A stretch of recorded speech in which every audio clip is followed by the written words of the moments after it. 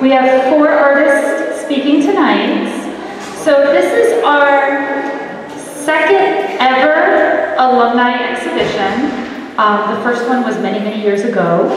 And this is hopefully a tradition that we're going to start doing more frequently.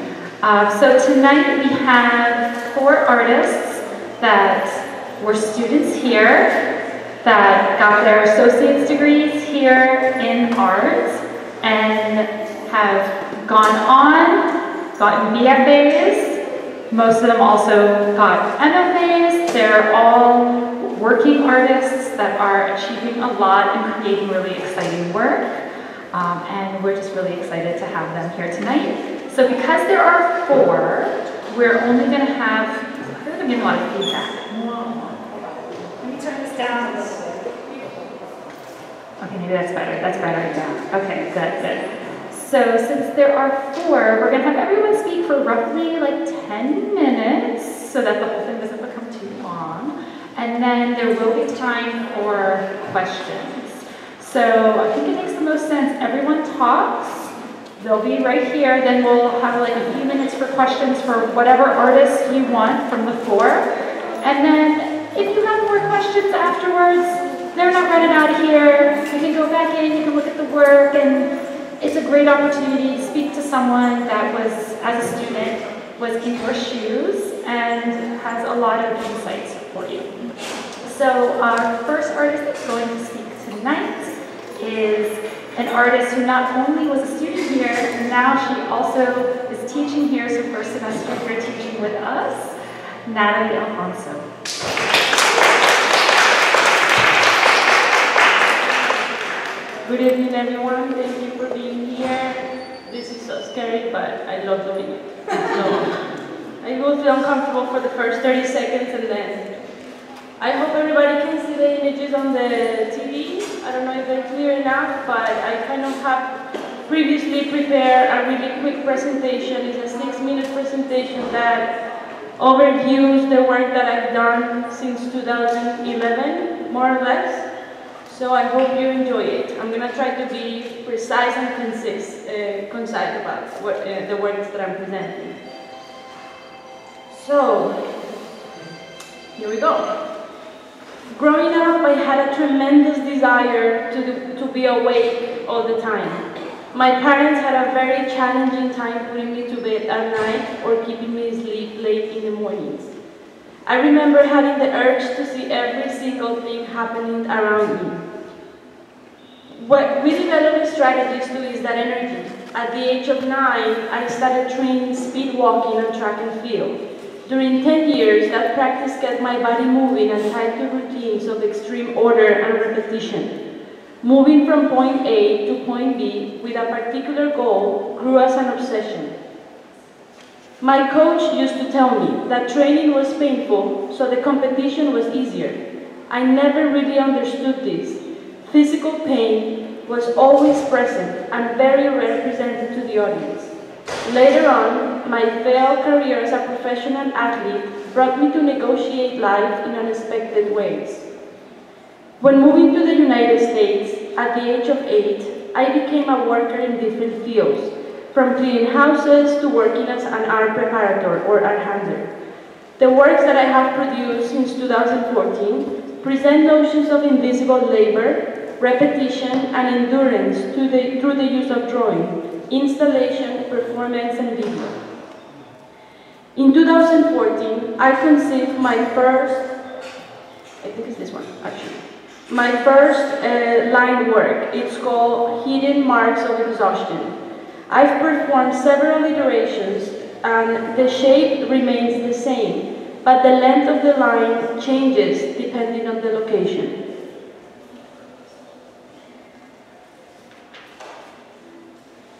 Before each performance, I draw directly on the wall a clean, thick line out of charcoal. Viewers encounter the boldness and the fine line before I proceed to erase it. These actions attempt to dissolve the line, although the vigorous act of cleaning. The performance ends as I have the performance ends when I have succeeded in partially erasing the line. Most simply, through this work, I explore notions of invisible labor, physical endurance through both mark making and cleaning. My personal biography reveals a type of vulnerability to the line and my labor in making it.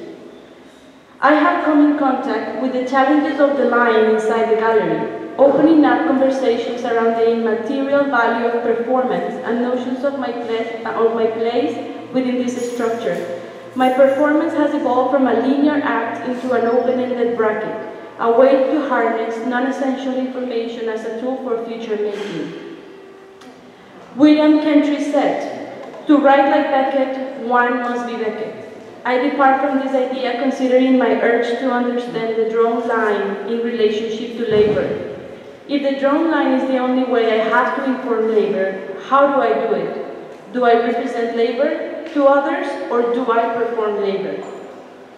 I traveled to Guatemala to observe and learn from Trama Textiles, a community of weavers. Initially, my intention was to learn how to craft my own rags for my line works.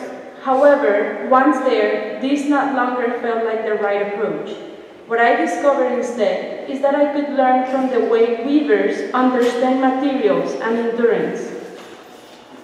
Always thinking about notions of labor, I learned not to weave, but the impeccable work ethic of all these women that have by sitting in the same position to finish a textile.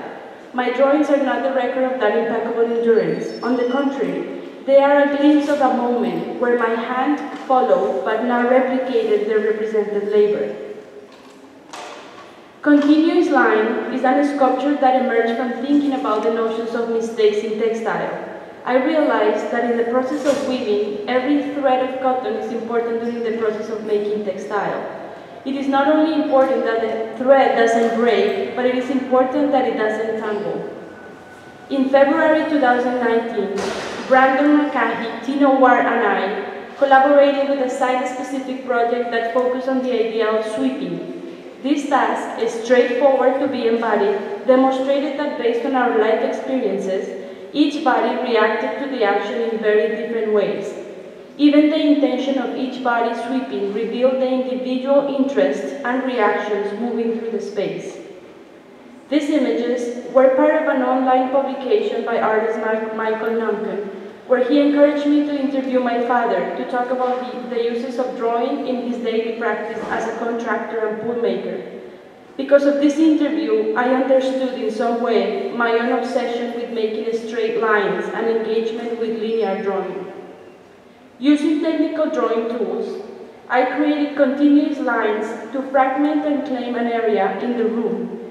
The action requires my body full physical engagement, but the technicality of the drawing hides that engagement and blurs the, and blurs the identity of those lines. This brought me to the iteration where I wanted to make a line to be buried by the final stages of a construction site. Not only the technicality of the work became relevant during the execution, but the performativity of the body was very challenged. In this documentation, I'm still very attached to the idea of my body and how I respond to specific spaces. I think about how can I reveal what gets buried under the sheetrock, I use a stud finder to locate the inner structures of the wall when I utilize charcoal and graphite as a direct medium on the wall to reveal that interior structure. I think about the importance of the invisible, but while it is impossible to understand precisely how these walls, foundations, buildings, or structures are set up or by whom, I will continue to depict the truth beyond that sheetrock.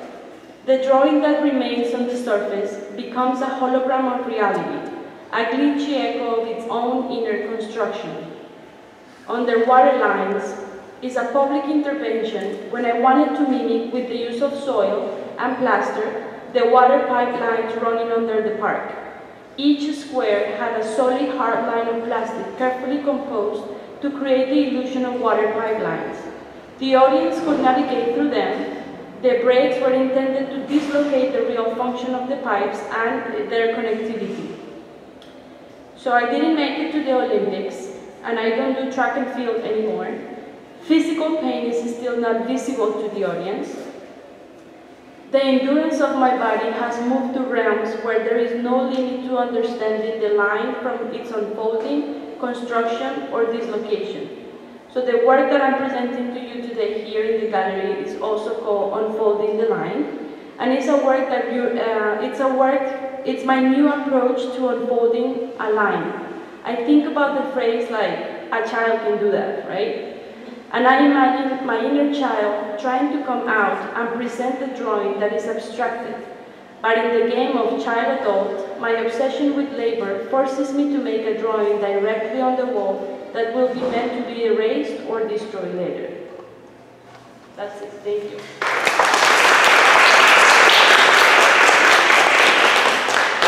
So, question or next? Do you want to do, let's do a couple questions before you forget what she was talking about. Let's do a couple of questions, and then we'll go to the next artist, if there's any. Any questions?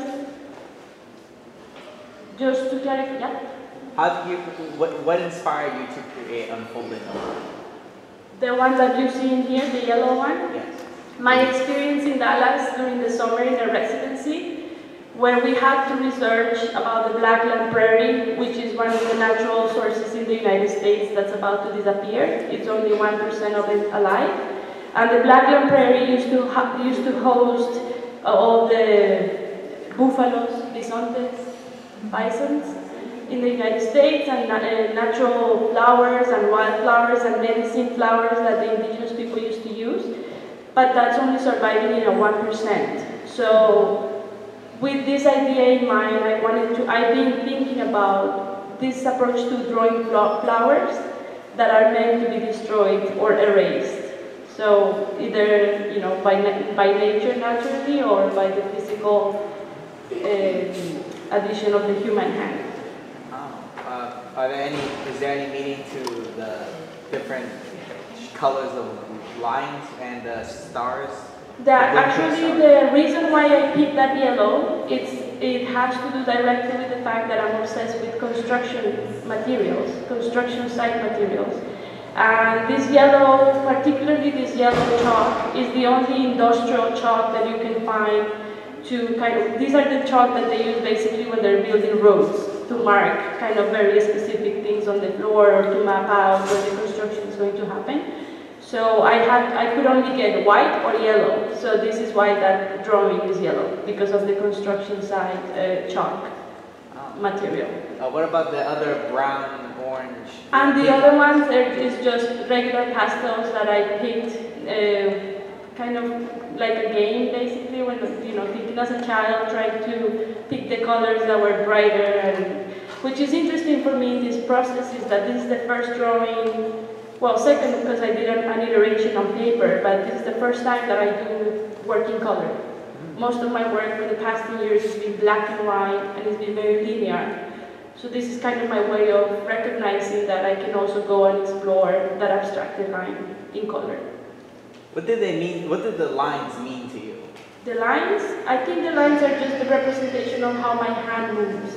So I am very aware that if everyone here in this room were to be making a mark, each mark is going to be very different because that mark is informed by your own way of moving your body, right? Whatever you do in your daily practice, it's either, I don't know, sweeping all day or doing ceramics all day or whatever activity that you when you come to the drawing line, that hand is going to carry that memory. So my lines in that wall are the memory of my own body uh, doing this kind of tedious, repetitive, laborious type of actions. Uh, Any other questions?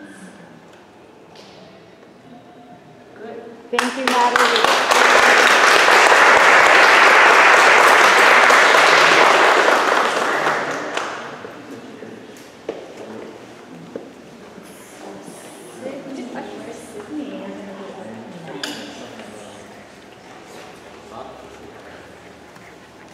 Thank you, Nathalie. It was really a pleasure to watch her work.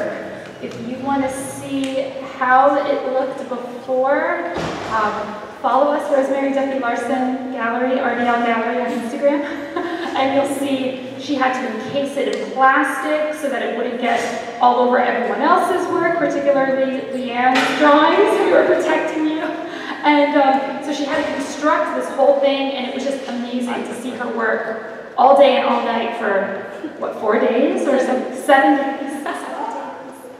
So, um, amazing. Like, for me, it was really exciting. But we have a couple of, of pictures um, on Instagram. Um, so, this one here. Our next artist is Sydney Kaye Bouwens. She was in my drawing class many years ago. I'm so proud. On a personal note, um, here's the presentation. All right. Let's welcome Sydney.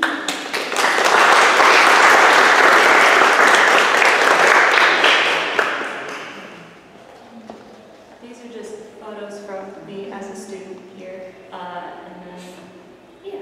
So hi, I'm Sydney. Um, I attended here at Broward College from 2016 to 2019, and then I transferred to USF.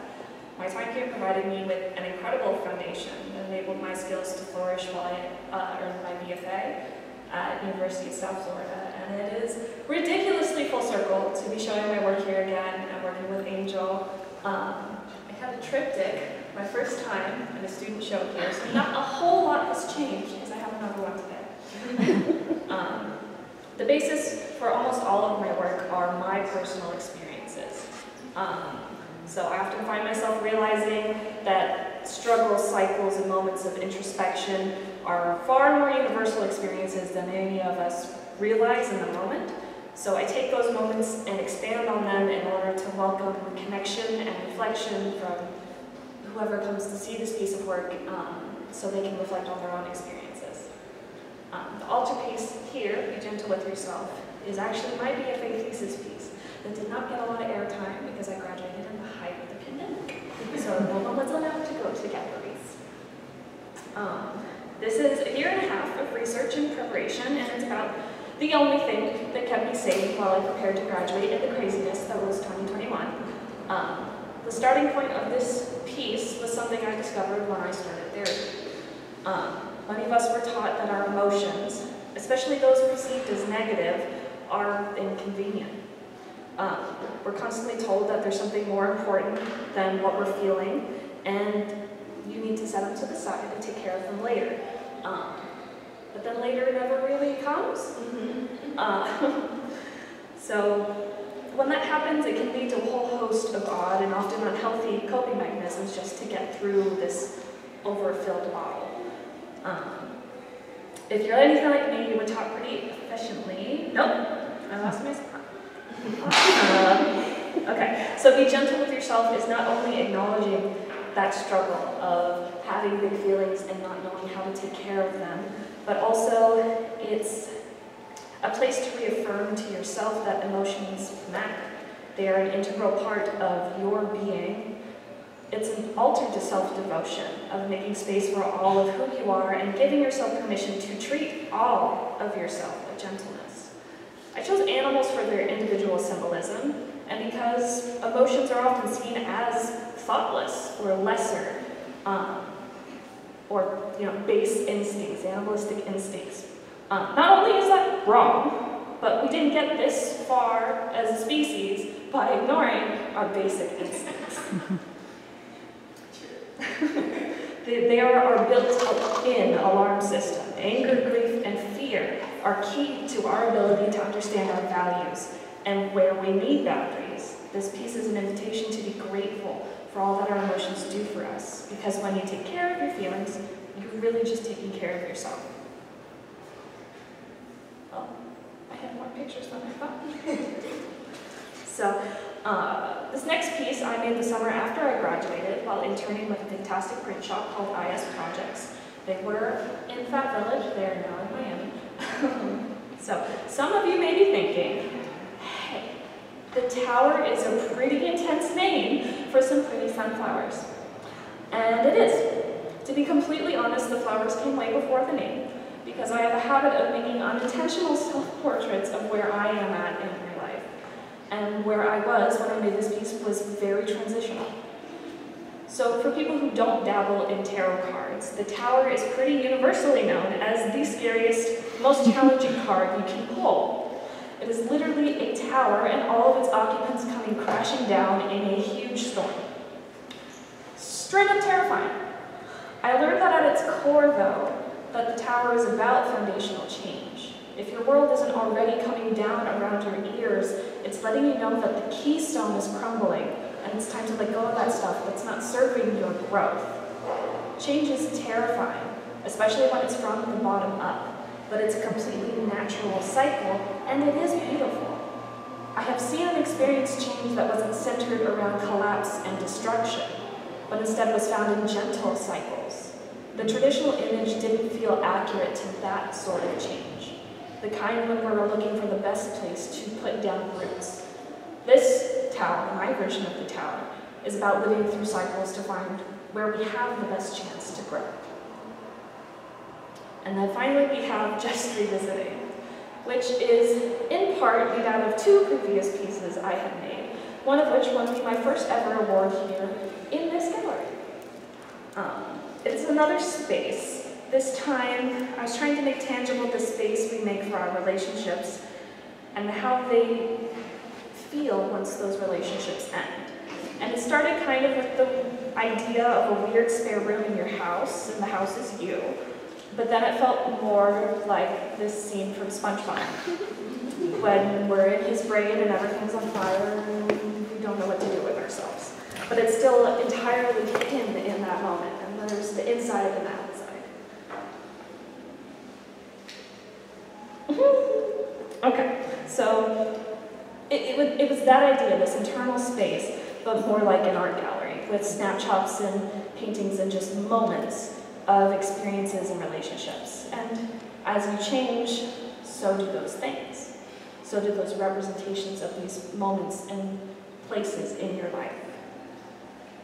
Hindsight really packs a punch. And when a relationship ends, the way that we can see it completely transforms. When the rose-colored tints are stripped away, we see the rock that was always seeping through. And you're left confronting everything you thought it was with the reality of everything it's not, and it sucks. And I hated myself for how much time and energy I was wasting visiting this thing over and over. I think we've all been at a point where someone tells us to just let it go or move on. Um, and we feel so much pressure to ignore what was genuinely a huge, important part of our lives. We used to live in this chapter with all the rock. That was our true experience, even if we didn't see it at the time. It's value to observe, the, it's valuable, excuse me, to observe the changes in our perception as time gives us clarity. It's good to see where the rock was sinking in and why. So please don't guilt yourself for visiting those spaces when you need to. We've already lived this chapter. We have moved on, but that doesn't make coming back to see what we've learned a crime. It helps us ensure our next piece in our SpongeBob Brain Gallery can weather the elements of our life. And so we're back again to welcoming in our feelings, actively engaging in change, and learning so tomorrow can be better. Like I said, ridiculously full circle. Thank you so much.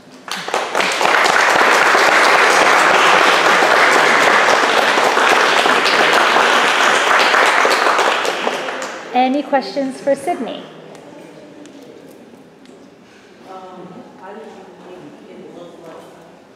So the, the aging, making it look gross.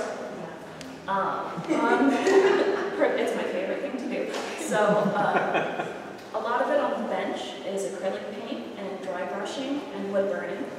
Um, on the actual fabric, I painted this, it was a bed skirt.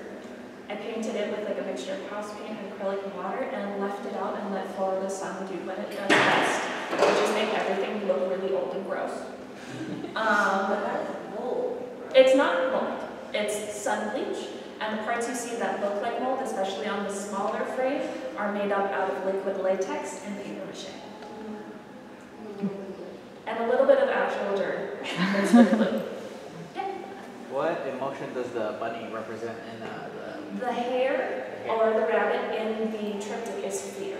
Because when it comes to those three emotions, uh, anger and sadness or depression or grief tend to be tertiary to fear. Tends to be at the core drive of a lot of other emotions that can present as us being angry or combative or scared and very withdrawn, uh, sad and very withdrawn. So he kind of got the center spot. I also deal with a lot of anxiety, so he was a big, he was a big figure in my personal touch in that piece. Um, can you explain the with um, attaching emotions to different animals? Sure. So I went, I wanted to find a visual language that kind of brought the idea of what I was saying back into narrative um, without having to attach words to it. I wanted you to be able to spend some time with that piece and eventually figure out some boars are angry. Pigs not so much, but boars, especially Florida boars, they're nasty, aggressive, and big, and just very territorial. If you get too close, they will knock you out. They do not care. Um, uh, swans have, I, I, I looked for pop culture references, things that a lot of people have access to, where mixed with some color theory and the way I portray them in the narrative on laser print pieces, that people could pick up, oh, this thing is angry, this thing is scared, this thing is sad, or just those kinds of hints. And then it could be whatever it needed to be for you. Was laser print or laser print? Those are laser engraved, so yes. And then, question here? Oh, I, I noticed that you gendered the animals, and I was wondering if there was anything specific. That's more just, not a specific reason. I tend to gender things accidentally all the time. Either way. And the little hair seems like a dude. I think my anxiety is a dude. he butts into conversations a lot. Go for it. What gender is the bench? What gender is the what? The bench. The bench? Bench doesn't have a gender. Bench is a bench. This time. He- that one didn't get a gender. this time. Ah, yeah.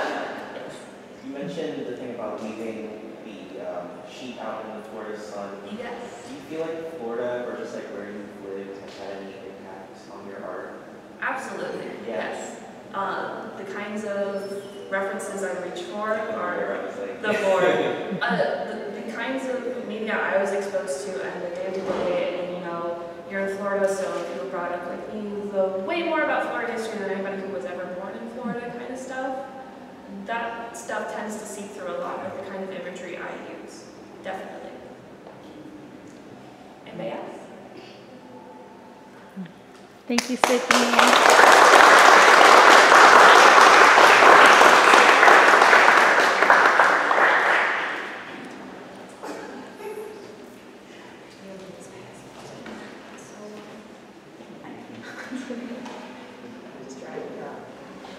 Oh, wait. It's like, you're still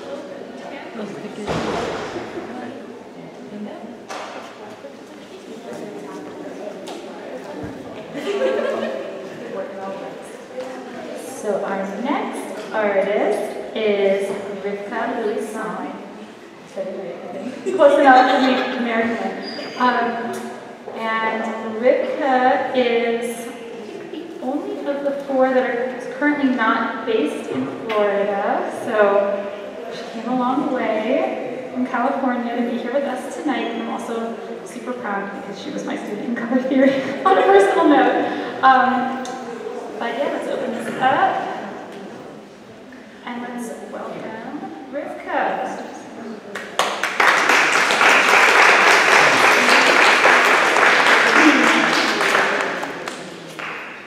Thank you so much, Angel. Um, yes, I am Rivka Valerie Louissaint, and I am an alumni to this art program. Um, and I, I'm really honored to be here. This is sort of like a homecoming. I had my first artist show here, so this is a big moment for me. Um, I practiced the foundation I practiced foundation of my art making here and was educated and mentored by many of you all educators and practicing artists present here today. Um, my work, um, I'm to kind of talk about my artist statement a little bit and then I'll go into the slideshow. My work um, as a black um, working class, uh, queer, uh, Haitian female immigrant is um, operates in three modes depicting the history of capitalism, imperialism, and racism, how these social economic systems continue to oppress and exploit today, and the possible futures beyond the horizons of capitalism. Though I tend to focus mainly on painting, I work across mediums when needed in order to better communicate my message.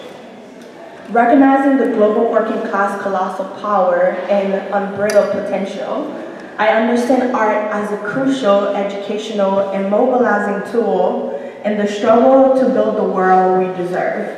One where providing for the needs, well-being, and rights of the people and other life forms of Earth are central in the insatiable capitalist hunger for profit, a nightmare of the past. In the tradition of artists such as Riva Helfand, Emory Douglas, and Diego Rivera, I memorialize past struggles alongside powerful visions of progress and other to create dialogue and inspire people to organize and take actions around social, economic, and ecological issues. So after graduating from BC, I transferred to um, the California College of the Arts, where I basically took the tool, um, the foundation that I learned here, and learned to use them as tools for education and to talk about the struggles and to um, organize. And then also I was inspired by a lot of the movements in the Bay Area. Um, I don't know if you all know, but the Area is known for um, the free speech movement, um, the movement for the Black Panther Party in 67, also um, the free love um, movement, um, as well as like they were, uh, the students at F FS State were the first one to fall and strike to have ethnic studies in, in schools in the US. And also now they have the largest academic worker strike in history going on. So this, a lot of those impacted my work. After graduating from CCA, I went to um, UC Berkeley UC Berkeley, uh, the University of California, Berkeley, um, was an interdisciplinary program where I got to basically explore a lot of different things that I was seeing my friends doing and really wanted to try and put my hands out. So things like sculpture and ceramic, as well as performance, which I have a slide to go into that, and as well as, as sound, as you can tell from the work um, in there. Um, I created these vessels that were inspired by the Haitian Walla drums um, in a very, very um, sad and isolated time in my life. I started the program at UC Berkeley in the middle of the pandemic, and just like you, I was um, isolated. All of my classes were online, and I had a lot of family and griefs and deaths, and I couldn't come back to South Florida. And so I'm sorry. um, and so I felt like creating these vessels for me was a way of bringing my ancestors to um, across the continent um, to be with me in the Bay Area. And I first used the vessels as healing vessels where I put medicinal plants inside of them um, and then later um, added sounds um, some of them got broken before firing, some of them got broken after installation, and some of them got broken during the transit here to BC. Um, and I decided to keep um, the one in there that's broken because I thought it was such a great symbolism of putting so much work and effort and your dream into something and then having it go into the system and having it be shattered, but not being um, giving up hope from it, but using it as a tool to still talk about the things that are going on. And so thank you, Angel, for your support and for allowing me to share that. Um, so I talk about the three different modes in my work. And so I decided to create this costume where um, I wanted to use different costumes to represent the different stages of, you know, the oppression, exploitation, the also the fight for liberation, but also this hope for building a future that we all deserve. And so the one up with the black and white is called Rising. I think of it of as coming to consciousness, of realizing um, the things that are going on. And the warrior version on the bottom is for me um, the organization and fighting back for what we deserve. And then um, hope on the side with the colorful that's inspired by Haitian Carnival, where um, it's about really coming together with nature and building the world that we deserve.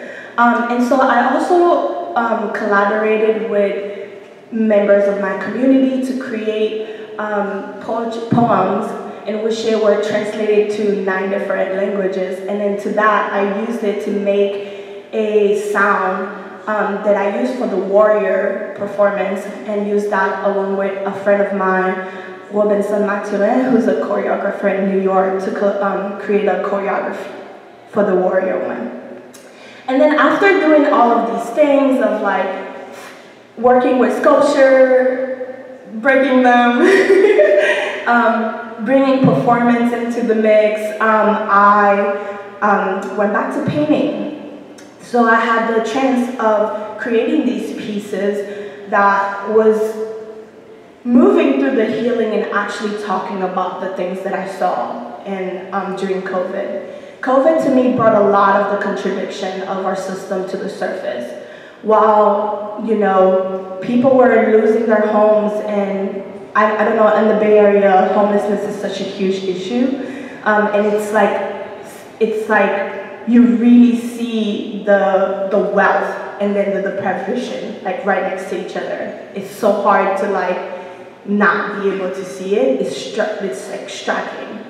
Um, and then to see, you know, food going to waste while people were standing in line, yet the billionaires were going into space.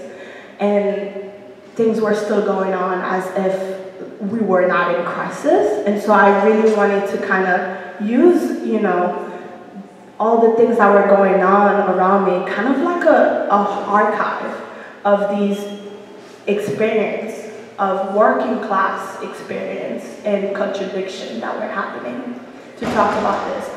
But I didn't want to only bring to the surface those contradictions and talk about the problems that we have. I also wanted to envision the possible futures of why is it that we are fighting? Why, why are we organizing? Why are we fighting? So for my thesis show at BEMFA, I decided to combine the ceramic vessels that for me were a tool of healing with these new pictures of, um, of like possible vision of future. I live in Oakland and um, in, in the East Bay, and I use a landscape of Oakland. Oakland is like you know, riddled with, with cement and highways. There's not a lot of greenery around, which I to Angel about. And I wanted to kind of go back and think about, well, what if, you know, instead of highways, there were um, green belts and there were trails and there was um, greenery all around. And instead of like just grass, there were trees. And, you know, instead of these empty buildings um, that just sat empty to make other people profit? What if, you know, they were redistributed for the communities, for people to live in? Um, and then I also made this sculptural structure that acted as a barrier to this vision of a possible future that would symbolize the present structure and the constraint that we face today to be able to attain that future. And then after graduating, I, um, well, throughout my program I was teaching, and then after graduating at UC Berkeley, I did a postdoc. I'm, I'm currently doing a postdoctoral fellowship at the University of San Francisco, where I get to teach and educate others, where I get to take the, um, the tools that I've learned and pass it on to others, right? Because I know by myself I don't know if I'm gonna see the future I'm imagining, but it's, it, it gives me a lot of hope to know that I can train other people to continue fighting for that future. And so one of the final projects that we're doing is they get to propose to me two to three issues that they're dealing with right now and propose two to, two, uh, two to three solutions. And then the final project that we're working on is for them to imagine a future and to create it where those things no longer is, exist. Now, we're not trying to build utopias, of course, so we do a lot of research um, to see things that already are being implemented worldwide because a lot of the problems, uh, the solution to our problems already exists. And so we try to go ahead and, and bring those things into the work that we're making.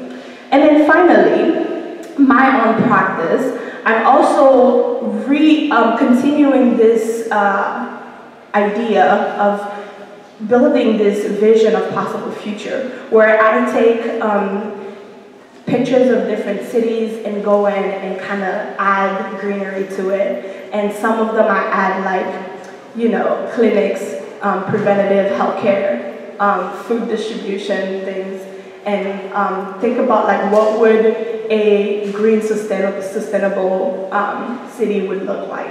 And those are, a lot of things that I talk to with my students. And so lastly, I want to say thank you so much for having me back. Um, it's such a great experience to be here and it's such an honor to come back to my home base. Um, I feel like I've never throughout my career ever found any place that's as supportive and giving as Bur um, Broward College. And the, the BCs do confuse me sometimes. and then I want to thank all the educators and especially Angel for all the support I've received over the years. Um, I often tell you I would not be able to make it this far without your help, and I do mean that. And then lastly, I want to thank my friends and family for always supporting me and for being here tonight.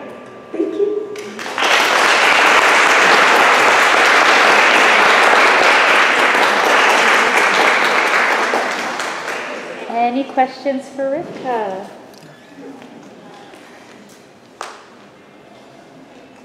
No questions? Oh wait, a question back there.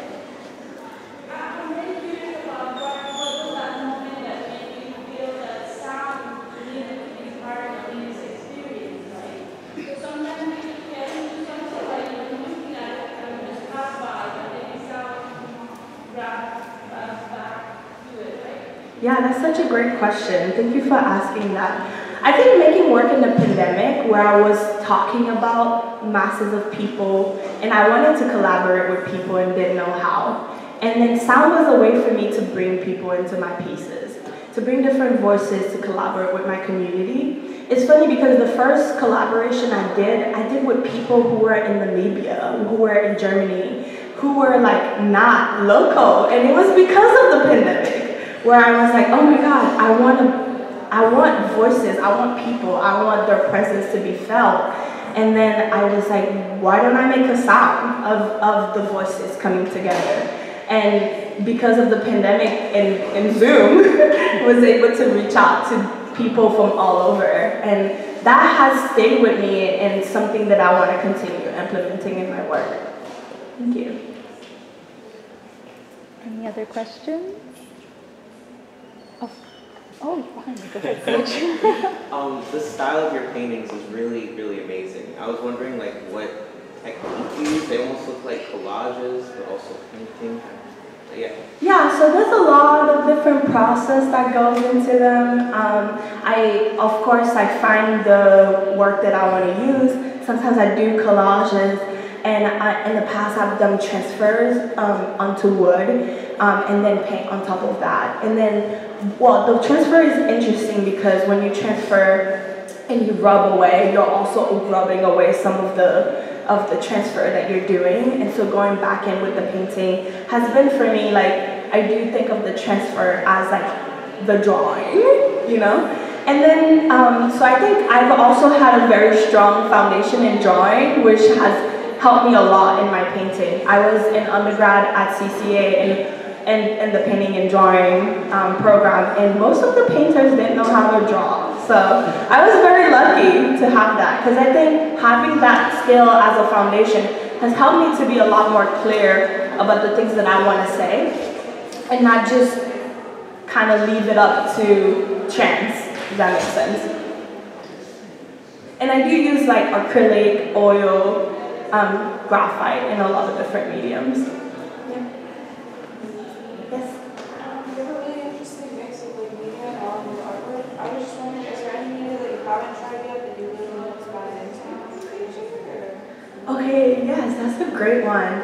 Um, I think videography is something I've dabbled in, but like, I don't know, they say that painters make really great films, so I kind of want to try that out. Um, and then also, like, I did start to do a lot of performance art, and that's something I want to kind of go in more into it. Yeah, I want to thank my mom for putting me in dance at a very young age. And so that's that keeps coming up a lot. So I definitely want to go back in and kind of do that. Especially when I talk about Haiti, I feel like it's such a great medium for like translating a lot that I can't say with words or through visualization of a, a painting.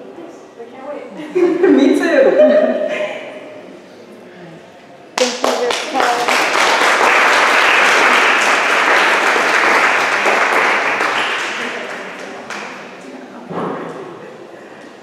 And then, do you want to inject it? or- So let's, uh, and then. Oh, trash.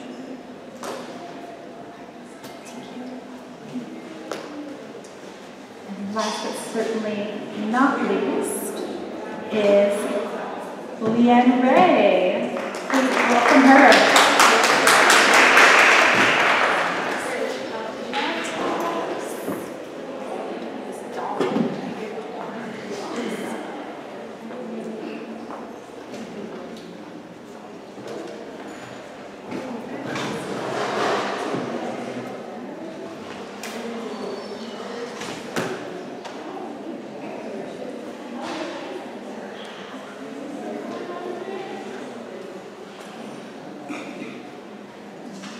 Perfect.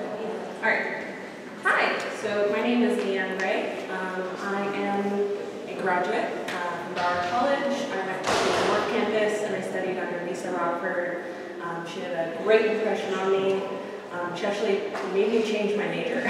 um, I started off as K through 12 education, and I ended up deciding to just go fully into drawing. Um, I ended up going to UCF for my BA.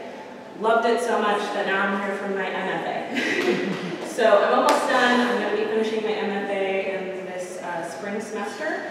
Um, my friend Gretchen is here tonight. We're going to be in the same thesis show. I'm very excited. Um, and I'm also teaching at UCF. So I mostly teach drawing, but I also teach design. As you can tell, I love drawing. It's my medium. so um, all the drawings I'm going to share with you tonight and all the drawings that are in the show currently are all things I made this year. uh, so I'm very, very prolific. If I have a thought, it has to come out of my head. I can't stop myself. so before this year, I was actually working mostly with oil painting and printmaking, um, and it wasn't working. It wasn't working for me at all. I had to remove the color from my pack and go back to drawing. It just the way it had to be. So when I went to start going back into drawing, I knew I wanted to make something big, and I knew I wanted to make something that referenced the old masters. I'm in love with Dürer, I'm in love with his etchings, I'm in love with his Christ-like figures that take up the page, right? They take up all of this space. My work before this wasn't doing that, right? They were timid, hunched over figures, and I wanted to take up space. So I stole a little bit from I stole a little bit from those Christ-like figures. This next drawing I made, I made a response to that drawing, right? So the last one was pretty bright, luminous, right? I needed to make something that showed that darkness, right? A lot of these drawings are talking from memory, right? So memory can lean all the way from happy, joyous memories to traumatic.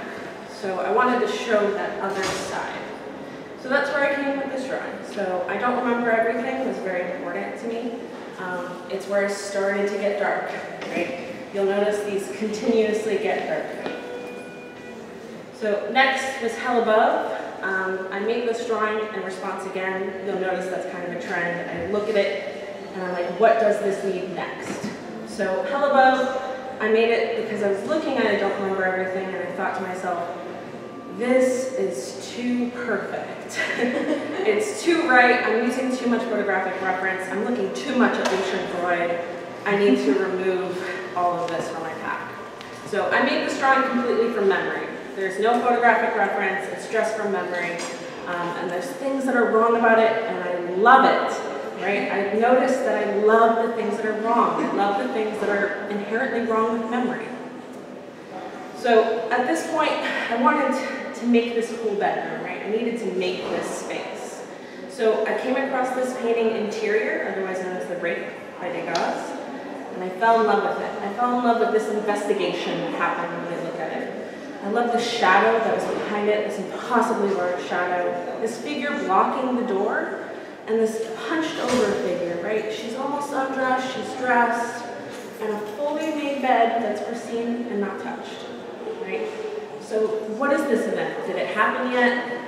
Is it going to happen? Has it already happened? Right? This line of questioning is something that I was very interested in. So I made this diptych, right? A piece of this diptych is actually in the show. Um, and what I love about this diptych is I think I captured that, right? I captured that line of questioning, especially when they're together, right? When they're together, it creates this narrative. You wonder what happened.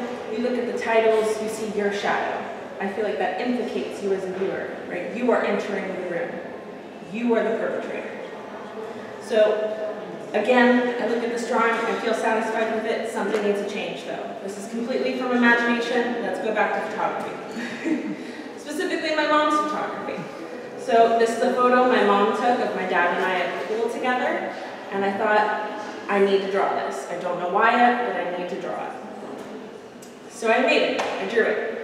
And something I loved from working from a family photo, this was the first time, was I could distort details. I could pick out what I wanted to change. I could pick out what I wanted to add. It was amazing, right?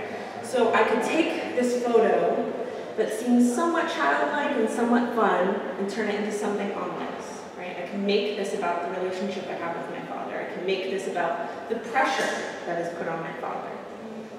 So again, I want to switch modes again. I go back to my imagination. So um, this is actually created from a story from my father. So he has this story of a canary, a bird, in um, his father's house, my grandfather's house. And he told me this lofty story while we were on a trip in Massachusetts, and I was infatuated with it. I could not step away. I had to listen to it. Sometimes our dads tell stories like that. And I made this drawing and I showed it to my family, and my dad was like, I recognize it. That's the story, without me even saying anything. My mom looks at it and she says, that's not the type of bird. that's not the paneling that was on the walls. The tree wasn't that close to the window, right? So again, memory is inherently flawed, right? Not just mine, my father's as well. I rectangle finally. and I made this piece this semester. Um, and what I love about this one is that it's not just one memory. It's a layer and layer, layer, layer upon memory. So some of the memories that are in here is Hurricane Ian. A tree collapsed in my neighborhood and blocked it so no one could leave. Um, a story from my father. He used to put his uh, lamp under his pillow because his father was a firefighter and he wanted him to come home. So it's several memories, several times, all layered upon each other. It's not plausible, but yet it works somehow. It's magical. And this was kind of the last of that craziness, right? Super crazy. Any memory that was coming into my head, I put into this one. So I stole a little bit from Käthe Kollwitz. I put one of her woodblock prints up there. I stole a little bit for myself, having COVID over the summer and no longer being able to breathe. I put drawings of my friends in there, just stacks, layers and layers and layers of my memories. And I'm looking a lot at Jenny Saville and a lot at Francis Bacon, if you can't tell. um, all of these artists influence me all the time. I love all the craziness. But again, I want to go back to plausible space. So I make this drawing of my mother. It's actually changed a bit from now. Um, but I, what I like about this one, in comparison to the drawing of my father and I, is that although this is plausible, and although it's seemingly innocent, there's something off-putting about this, right? Every time someone steps in front of this, they say, I know it's your mom, but I'm a little uncomfortable. so I like that, right? It's, it makes you uncomfortable to look at this, right? You can tell that there's something wrong with this memory without me having to say a word. And this is where I'm at now. This is the drawing that I finished recently. Um, again, I wanted to work at a different scale, so this is a completely different width and a completely different height. This is a very large drawing. It takes over the room. Um, and I wanted to make something with a figure that was almost absent, right? So if you look really quickly at this, um, some people have said it looks like a tick, right? You can't even tell it's a figure. So I'm working now with the idea of how do I omit the figure with keeping the figure, right? So that's kind of where I'm at now. Any questions?